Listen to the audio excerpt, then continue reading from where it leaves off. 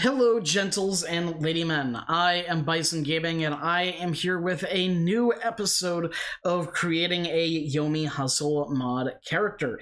In today's episode, we have a lot to do as we will be looking at a multitude of different things today. We will be looking at how to make a super move, how to give an attack armor so that it's not interrupted, how to make attack chains, and how to make particle effects. Lots to go over today. Uh, so without further ado, let's get into it. I have been spending a lot of time working out uh, the animation for this attack, but we are going to be making our other super move today, uh, which is a three-hit chain with an alternate, uh, with two alternate finishers, uh, and it is based off of this attack from Hoaraloo's boss fight. One slam, stomping into the ground, and then ripping it out. That is the inspiration for this attack, and that is what we are trying to emulate to a degree uh, with, with our characters. So, uh, we I already have all of our animations loaded in, with the exception of the particle one, because that is going to require something a little different. Uh, but we have I have them listed as Earthquaker 1, 2, 3, and Earthquaker alternate finish. Uh, so now next what we're going to do is we are of course going to be creating a node for this attack. So we're going to go to our state machine and add a child node, add a node 2D, and we're going to rename this Earthquaker. Now we need to add a script for this, so we're just going to add a new script.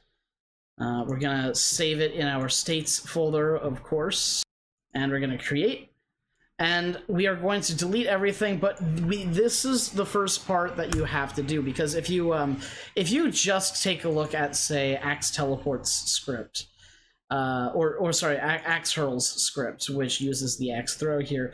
Uh, you can see that up in here we have extends super move, and this is so that uh, when you have this, you get this section here, uh, th this super levels, super levels used uh, a super freeze tick, and so on that that shows up during uh, th th this shows up by adding extends super move instead of extends character state like we normally would. And we need this here so that we can set our super level and so on and so forth.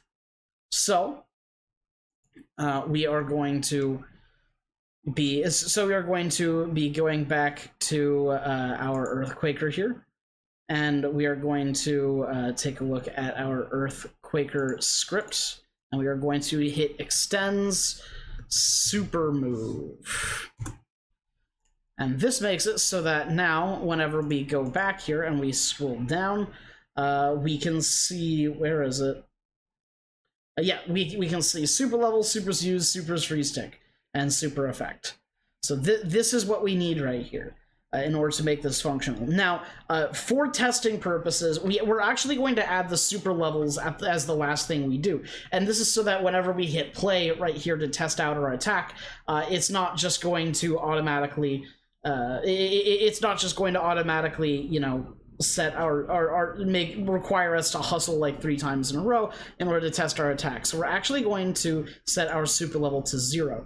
So the super level here tells you exactly how many super le levels of super you need before the attack is actually available. But this is actually separate from supers used. So you could have an attack that doesn't appear until you have max super if you wanted, but but an attack that costs zero super to use, and as such, uh, it would be very, very difficult to attain this attack, but once you have max super, you'd be able to just spam it out no problem so long as you maintained that.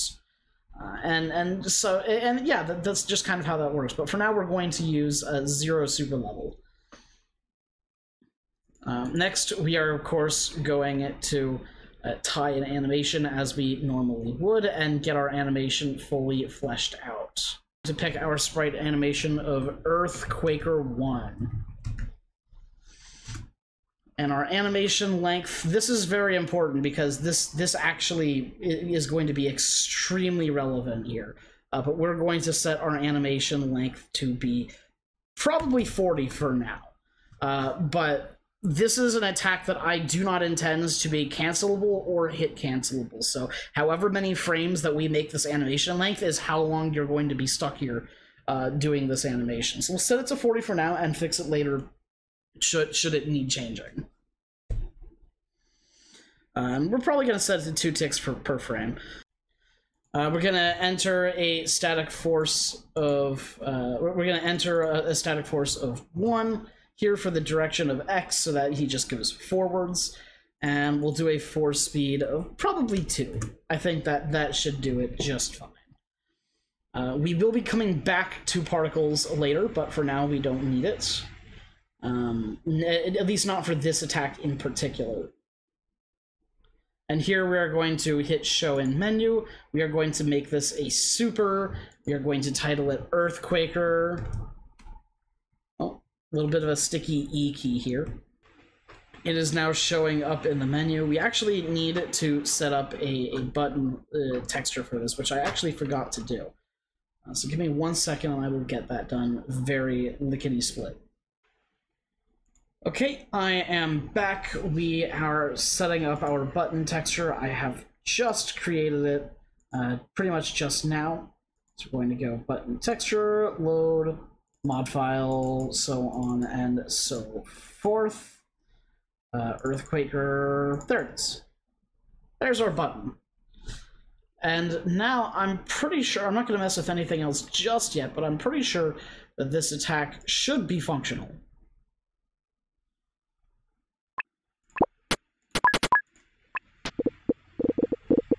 Uh, no, it, it, we, we are still missing something somewhere. You know, it took me a while to figure out what what uh, was was causing this to, to not show up. Uh, it's because we need to do the interrupts uh, from and into. So so we're just going to do grounded and grounded attack, as well as uh, both here and here. And now it should show up. Bingo!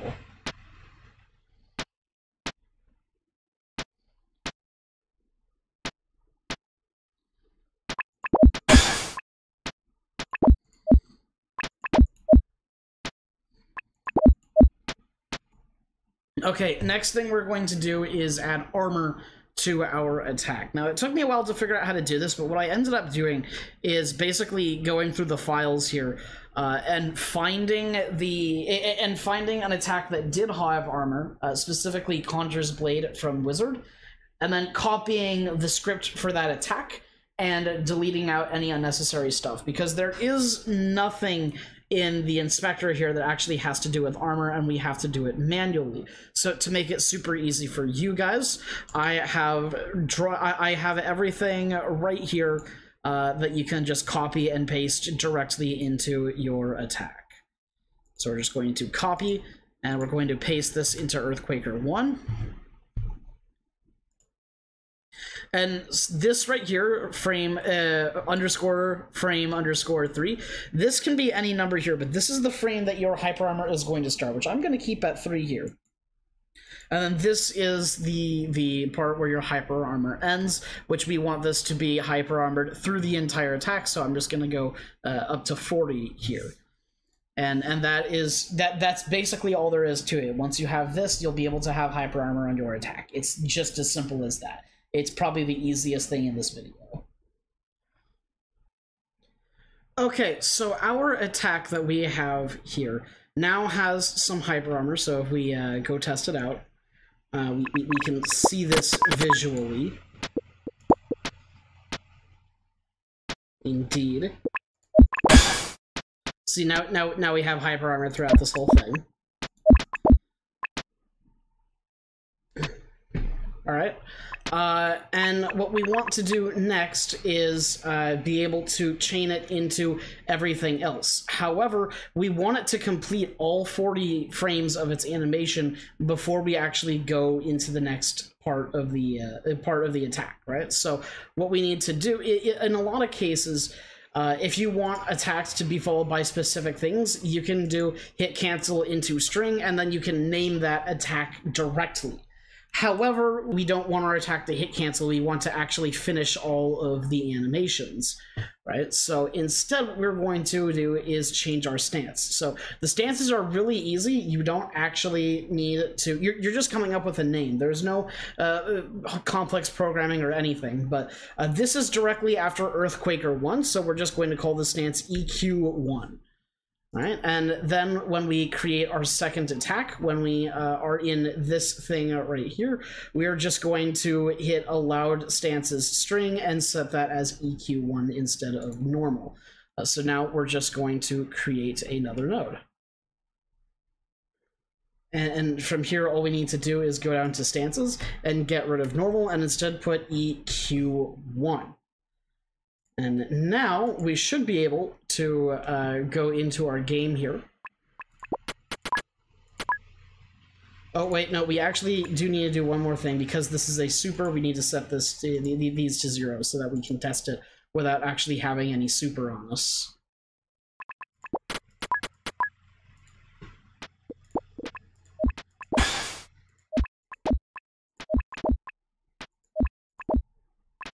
And see, now we have Earthquaker 2 here. Which needs to apply some full momentum to it so that the axe doesn't move.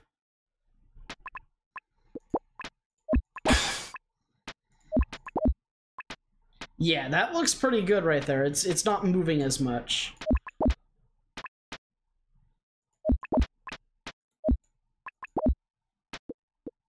And obviously if we block low, that's gonna bring us back to back to the central, right?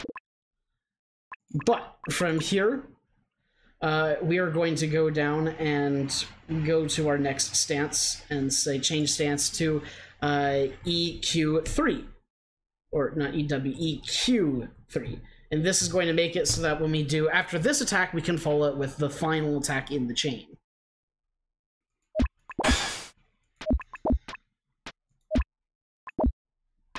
Okay. And, uh, oh, it looks like we, we, we messed up somewhere.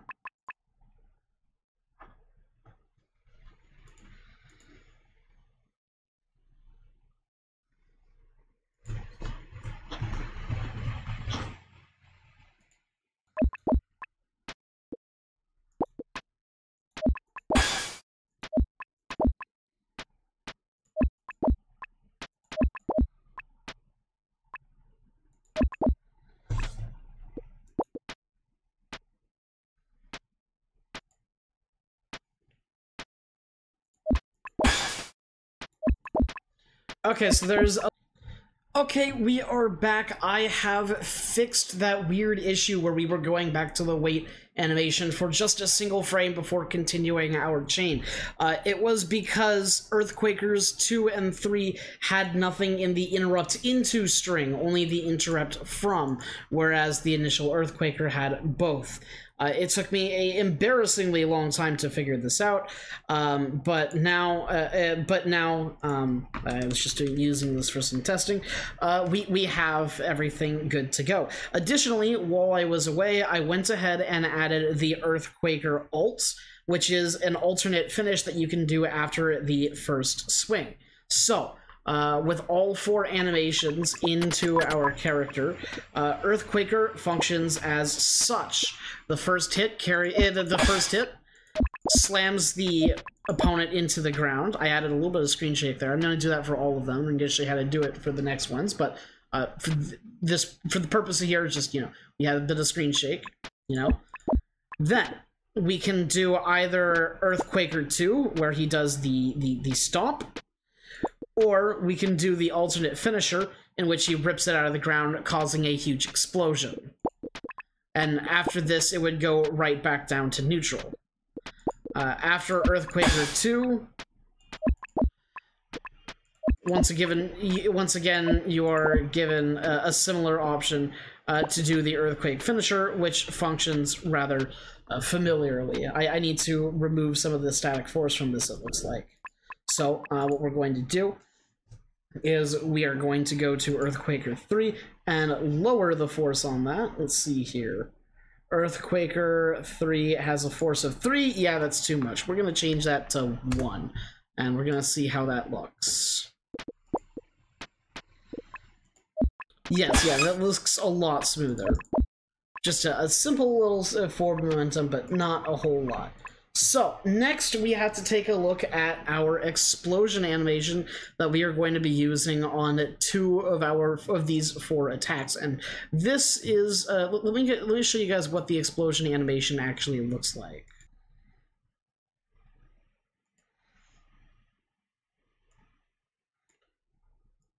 This is what our particle explosion looks like. Just rocks and debris flying up. That's all it is. It doesn't need to be anything fancier than that, I don't think. It gets the job done. Okay, so I went down the particle effects rabbit hole, and it ended up being not quite what I thought it was. So uh, I ended up going after uh, some, uh, going after the explosion effect that I was after in a different way, where I took the whole animation and basically turned it into a projectile. Uh, so we, I, I, I and this one, it, although I was not confident at all in my abilities to explain uh, projectiles the first time, I can explain it a little better here because this is about the simplest projectile that you can possibly make. So I went over here to search files, and I actually did this by myself without needing any help, and I'm pretty proud of it. But I went, uh, but I searched base and found base projectile here, and hit new inherited scene. Uh, then I saved it in the same folder as as Hoaraloo uh, as Rock Explosion, which is what you see here. Then I went and uh, went to the sprites and input, uh, went into frames and hit new sprite frames, uh, and basically added all of my animation uh, that that I had. Uh, this animation here is is what I added.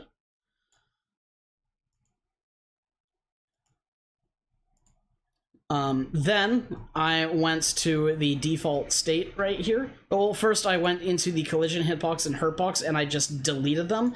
I made them, as you can see, uh, oh, I, I, guess I didn't, but uh, it doesn't really matter. Uh, the, the, the hitbox and hurtbox aren't going to do anything because it's not like anything is going to cancel out this, this projectile, but we're going to make them zero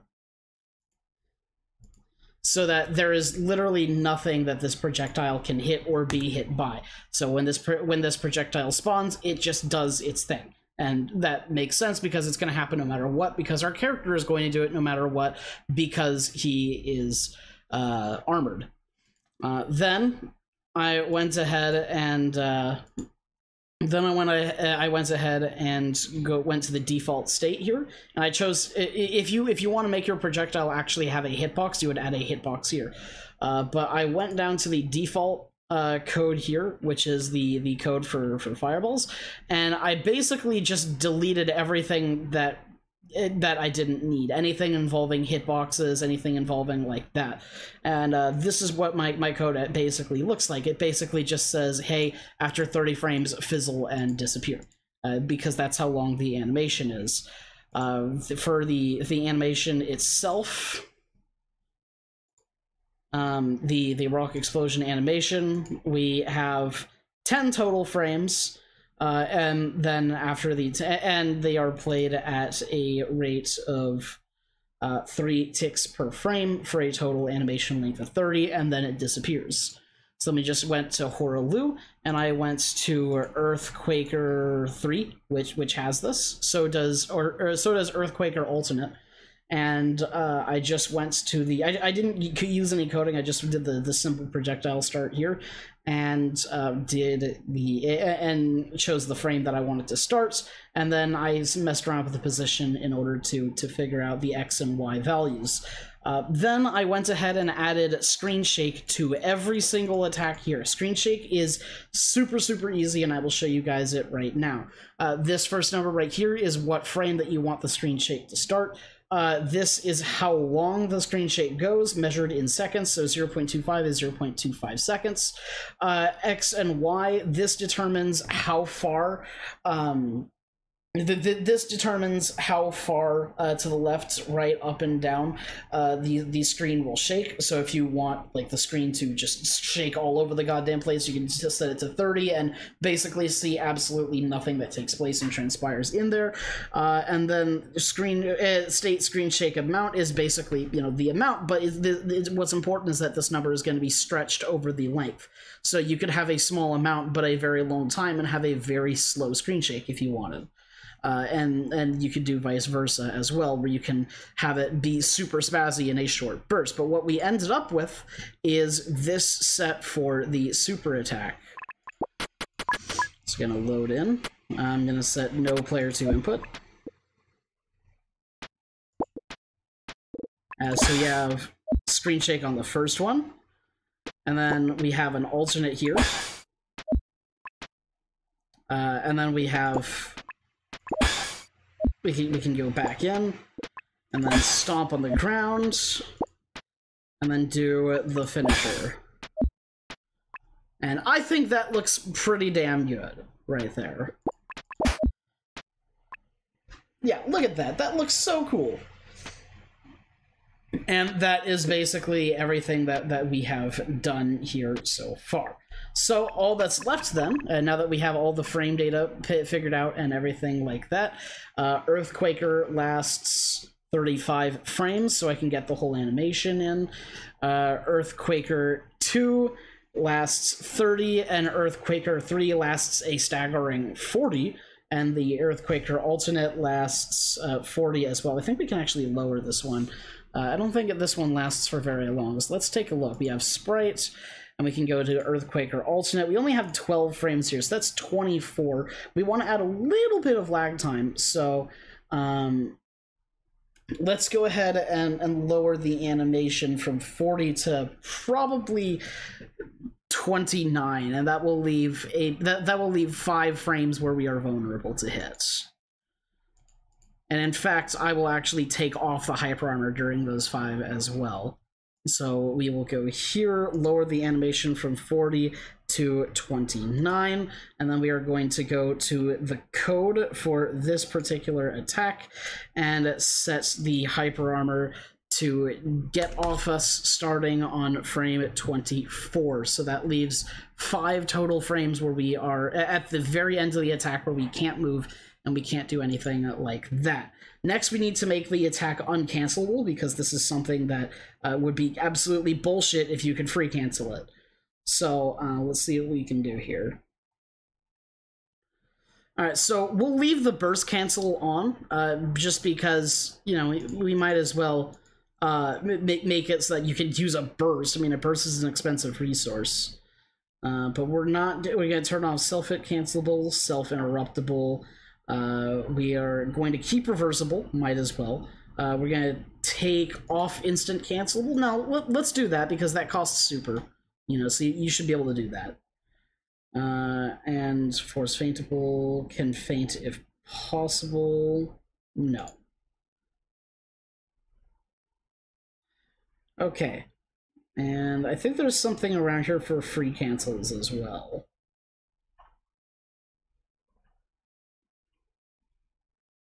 Where are you? I'm not sure. Let's go take a look. Let's test it.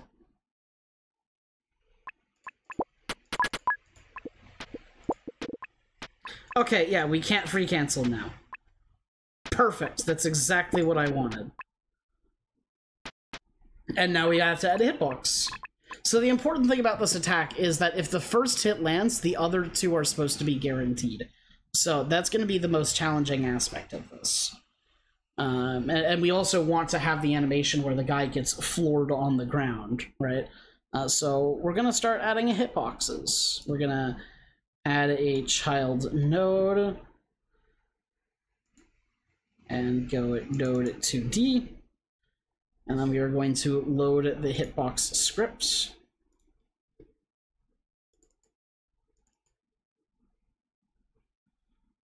And we are going to play around with this.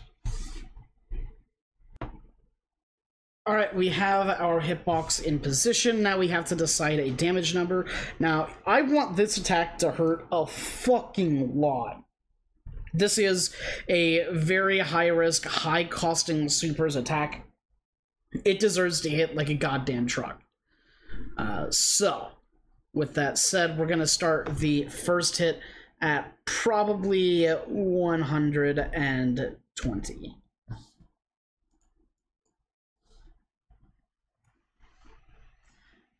Because we have to keep in mind, we have to split the damage across three hits. I'm gonna set the minimum damage to 60, just cause. This is just gonna be a normal hit. Uh, the hit stun ticks, we're gonna have this just to be safe and make sure that we can uh, we, we can reach the next attack. We're gonna put like a whole second of hit stun on this. Yeah, it's gonna hit versus grounded, hit versus aerial, uh, can counter hit. That looks good. It is going to force grounded. This cannot clash. Uh, I don't think I want it to beat grab. I, I think that would be a little unfair. We will work out the sound effects later. For now, I just want this to work.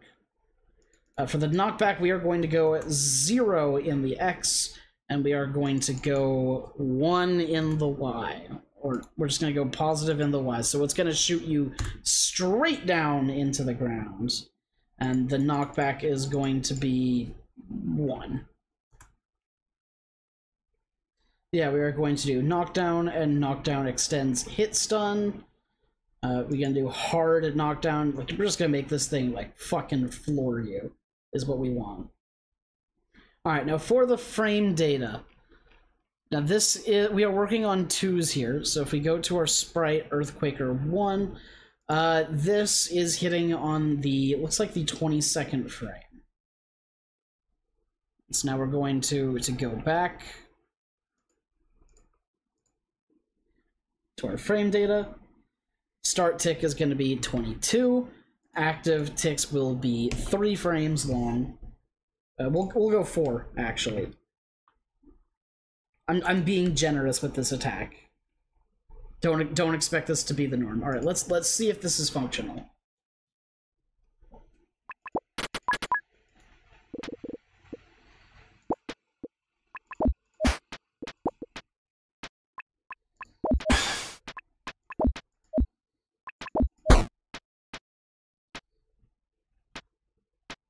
Okay, well he's not on the ground, so let's uh, let's do something else.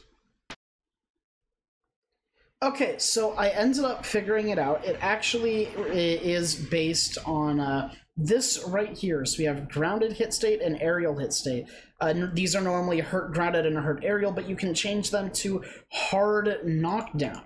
And when you change it to hard knockdown, uh, it ends up resulting in exactly what you might expect. We're just gonna inch forward a little bit, and then BAM!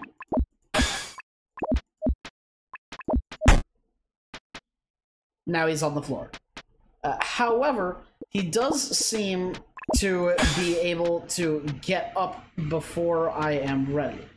Uh, so we, we do need to, to fix that in order to make the second attack uh, guaranteed.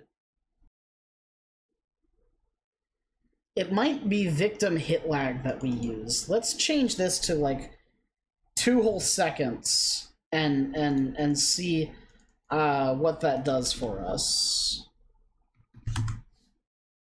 100 frames of hit lag. Let's go. Only the best for Horaloo, am I right? Yeah, we're just doing this as a test. This is obviously... Oh my god. Yeah, that that'd do the trick.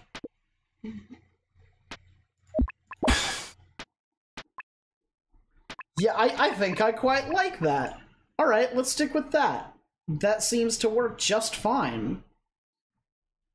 Alright, now I, uh, with that out of the way, all I have to do is add the other hitboxes on the rest of the attacks, and we are done.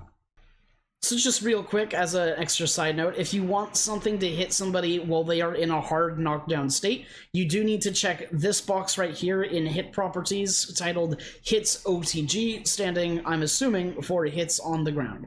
But once you check this, you're able to actually hit an enemy while they are on the ground. We are currently two out of the four hits active, uh, and we we we can do this.